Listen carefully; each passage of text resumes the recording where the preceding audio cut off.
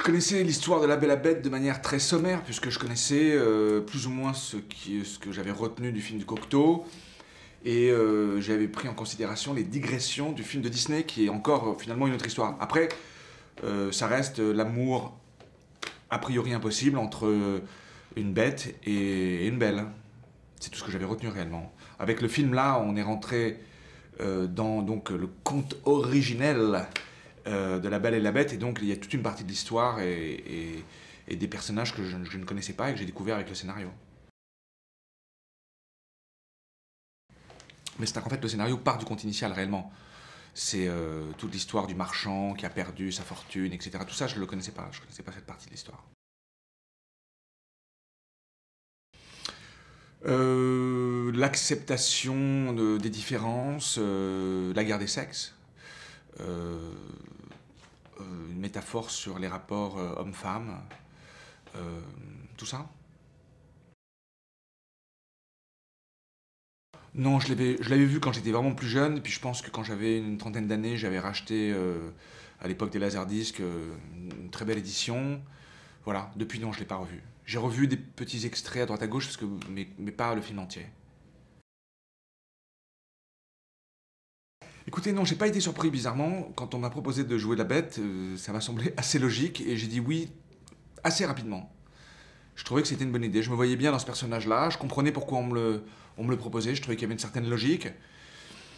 Euh, je crois que c'est un peu de ma faute si on me propose ce genre de rôle. Pourquoi? Euh, je pense que c'est l'image que j'ai fini par établir à travers les rôles que j'ai faits, mes choix, etc. Quand on m'a proposé ça, finalement, je me suis dit que c'était assez, euh, assez juste. D'ailleurs, c'est pour ça que j'ai très très vite accepté. Euh, j'ai lu le scénario quand même, mais déjà l'idée de Christophe Gans réalisant ce film, je trouvais que c'était une très bonne idée. C'était complètement son univers. L'air de rien, ça fait deux fois qu'il m'appelle pour faire la bête, puisque dans le pacte des loups, même si j'étais pas la bête même, j'étais le maître de la bête, et il y avait quelque chose, il y avait quelque chose de cet acabit. Et puis ensuite, dès que le nom de Léa est arrivé, j'ai trouvé que c'était euh, complètement logique. Et, finalement, vous savez, il y, y a des projets comme ça qui ont très très vite un équilibre et une, évidence, et celui-là en faisait partie. Et du coup, les choses ont pour une fois été relativement vite. Je trouvais que c'était une très très bonne idée, ouais. Je trouvais qu'elle était, euh, elle était à un, moment de, de- sa vie, de sa carrière, où elle a, euh, elle a encore quelque chose de, je dirais pas d'enfantin, mais en tout cas de presque d'adolescent dans le visage, une fraîcheur comme ça. Et en même temps, c'est une femme, et euh, donc elle avait ce, je trouve qu'elle avait ce mélange. Ça vous savez, après, tout, tout n'a pas une explication. Euh, des fois, on réagit de manière assez épidermique. Et là, dès que j'ai entendu son nom, j'ai trouvé que c'était euh, une très très bonne idée. Et d'ailleurs, ça se confirme parce que dans le rôle, elle est parfaite. Alors d'abord, donc, on parle, ce n'est pas vraiment un masque. C'est un masque digital. Et euh, pour moi, ça fait toute la différence parce que je pense que si le, projet avait été euh, que je porte un masque réellement comme avait fait Jean Marais euh, ou comme avait fait, je sais pas moi, Tim Roth dans la, planète des singes, je, n'aurais pas fait le film.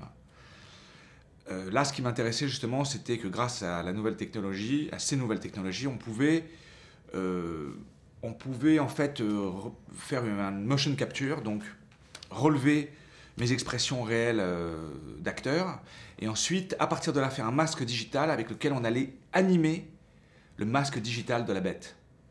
Donc tout ça, en fait, euh, reste assez fidèle à ce que j'ai fait sur le plateau.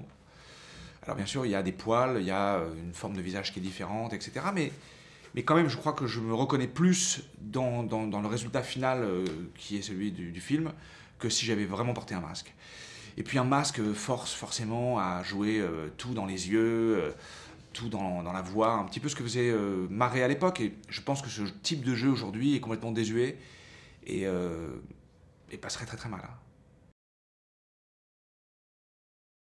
Écoutez, vous savez, hein, c'est un peu toujours la même histoire. On se retrouve avec un problème sur les bras et puis après, il faut se démerder. donc, je peux pas vous dire que j'ai une technique particulière pour se sortir de ce type de situation. Euh, J'avais donc euh, apporté ce qu'on appelle un muscle suit, donc qui est un, un- costume euh, qui en fait représente la musculature de la bête et qui fait de moi un espèce de mastodonte de euh, 300 kilos. Et par-dessus ça, j'avais le costume du prince rouge qui était très très gainé. Donc voilà, en fait, une cape qui pèse une tonne avec un col en acier, puis ensuite une espèce de casque poilu, et en fait, j'avais juste cette partie-là, en fait, de, mon- corps réellement qui apparaissait. Voilà, après, il fallait trouver un moyen de, bouger ce truc-là et que ça soit euh, crédible, que, que je traverse pas le champ, euh, le champ, donc euh, le champ de la caméra, comme, comme si je. D'abord, il fallait pas que qu'on voit l'effort que c'était de porter ce truc-là. Et il fallait que je trouve une certaine forme de, comment dire, grâce, je dirais, qui serait celle du personnage. Mais bizarrement, malgré toutes les considérations qu'on a pu euh, avoir avant le tournage, une fois qu'on arrive sur le plateau, euh, tout ça vole en éclats, et puis après, il faut que ça fonctionne. Quoi. Donc, euh, l'idée que je m'étais faite de tout ça, finalement, s'est réduite à quelque chose d'assez simple une fois qu'on était en train de tourner. Écoutez, ça, je crois que c'est un mythe. Le côté. euh, je crois que le décor n'a pas grande importance. En fait, le moment où on joue, on n'est pas concentré sur ce qui se passe autour de nous, on est concentré sur ce qui se passe à l'intérieur de nous, éventuellement, et sur son partenaire. La situation, le décor, euh, c'est pour le spectateur, concrètement. Alors bon, c'est vrai que c'est un peu bizarre de travailler sur un truc qui est ouvert, mais euh, très très vite on s'y fait. hein. Ça n'a aucune importance en fait. C'est vraiment, c'est vraiment secondaire le décor, je crois, pour l'acteur en tout cas. Non, le costume. Le costume euh, aide réellement à se mettre dans, euh, je crois, dans le personnage, mais le, décor, vous savez, on est, quand on joue, on n'est pas tout le temps regardé derrière soi. Regarde, là, je suis en train de parler avec vous, je suis pas en train de regarder ce qu'il y a derrière moi, sinon, euh, sinon, je, sinon, il y a un problème. hein. Écoutez, c'est vrai que moi, je suis pas spécialisé dans les rôles, dans les films familiaux. Mais euh, oui, c'est bien, c'est bien, que je- bien que je le fasse. D'ailleurs, vous voyez, c'est la première fois que je fais un film comme ça. Et euh, la première chose que j'ai fait, c'est que le jour où on m'a montré le film pour la première fois, j'ai emmené mes enfants. Chose que j'étais, enfin, je pouvais pas faire avant, euh, vu le type de film que je faisais, parce que c'est ou alors violent, ou alors avec des, des- scènes un peu explicites, ou avec du langage un peu cru, etc. Moi, c'est un peu ma marque de fabrique, tout ça. Donc là, tout d'un coup, de jouer dans quelque chose euh, où euh, il y a des petits animaux qui courent avec des grandes oreilles euh, et où le prince charmant euh, prend une rose et l'offre à la princesse, forcément, c'est, ça me fait des vacances. Alors j'avais vu beaucoup de dessins, beaucoup de gravures, beaucoup de, choses comme ça auparavant. Donc je voyais un petit peu la teneur, la teneur de tout ça, mais c'est vrai que là, avec les effets spéciaux aujourd'hui, on est... enfin, je veux dire, ce qui est incroyable, c'est que je crois que même à la limite, les gens se rendent assez peu compte de ce qui est, possible de faire aujourd'hui avec les effets spéciaux. C'est-à-dire que, littéralement, par exemple, j'ai appris hier qu'il y a toute une scène de dîner où euh, la nourriture qui était dans les assiettes n'a pas plu à Christophe Gans parce que, vous savez, ce qu'on appelle la, bouffe de plateau, euh, finalement, elle reste sur les assiettes, la nuit passe, c'est des trucs de studio, c'est un peu poussiéreux, et donc ça, ça vieillit un peu.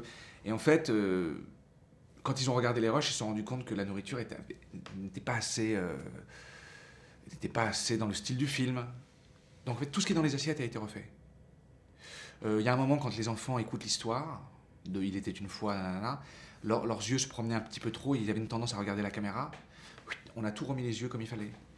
Et tout ça, on voit rien. C'est-à-dire qu'en fait, les effets spéciaux, il y a ceux qui se voient, et puis il y a ceux qui sont finalement, pour moi, encore peut-être les plus intéressants, il y a tous ceux qu'on ne voit pas, mais qui font que le film, tout d'un coup, euh, euh, se déroule sans, aucun, sans aucune anicroche. Euh, L'herbe sous nos pieds, enfin, là, littéralement, je dirais 90% de ce que vous voyez à l'écran a été généré par des ordinateurs.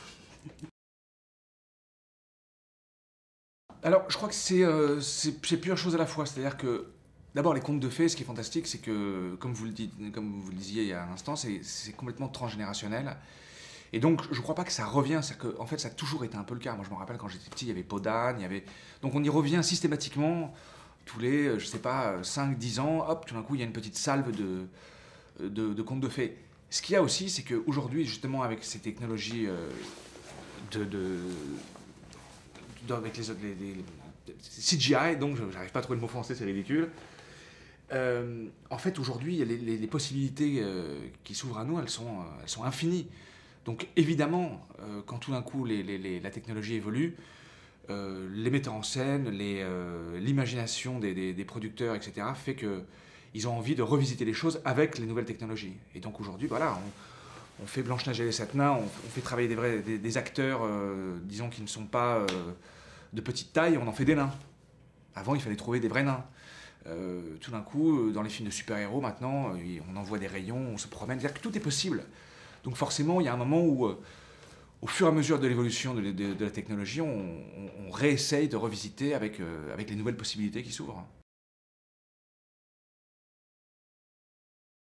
Alors, c'est très intéressant parce que moi, c'est la première fois. Enfin, j'avais déjà eu une petite expérience comme ça il y a longtemps euh, sur un film que j'avais produit qui s'appelait Shetan.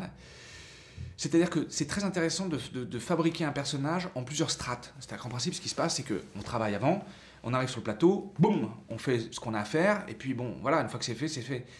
Là, euh, bizarrement, euh, c'était en, en, trois étapes. C'est-à-dire que je suis arrivé sur le plateau et j'ai fait tout ce qui était le corps, les mouvements, euh, et puis ensuite, je refais le visage, mais genre des mois plus tard. Donc là, ça me permet encore de, de rafistoler un peu éventuellement ce que j'ai fait, ou en tout cas de changer des directions que j'avais données à tout ça. Et puis ensuite, en dernier lieu, on fait la voix.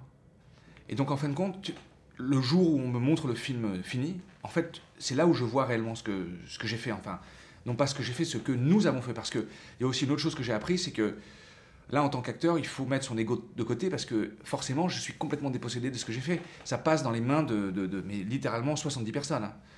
Et que il y a intérêt à travailler avec des bons parce que sinon, euh, il reste plus rien de ce que j'ai pu essayer d'imprimer au personnage. Complètement, on s'est posé beaucoup la question. On a eu, euh, d'abord, on avait imaginé énormément de choses, euh, beaucoup plus, euh, beaucoup plus artificielles, où on voulait mélanger énormément de, peut-être de, textures, de, textures, de, voix, si on peut dire ça comme ça, mais de, feulements, de, de, félins, comme ça, etc. De, vraiment de, rendre le, disons, ce qui sortirait de la bouche de la, de la bête quelque chose de très animal, de très caverneux. Ensuite, on est parti sur quelque chose justement où euh, euh, c'était beaucoup plus magique, c'est-à-dire que je, ne- levais jamais le ton. Et puis, en fin de compte, je me rends compte qu'à la finale, on est arrivé à quelque chose d'assez euh, naturaliste. Alors, on a rajouté un peu de basse à certains moments pour rendre la chose plus caverneuse. Comme ça, des, petites choses à droite, à gauche, mais je crois qu'on reconnaît assez bien ma voix finalement dans le film.